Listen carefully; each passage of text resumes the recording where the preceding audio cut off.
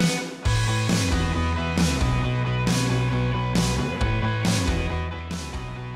this section, we're going to look at setting the stage, making your storyboards, shooting talent, scouting a location, and your camera.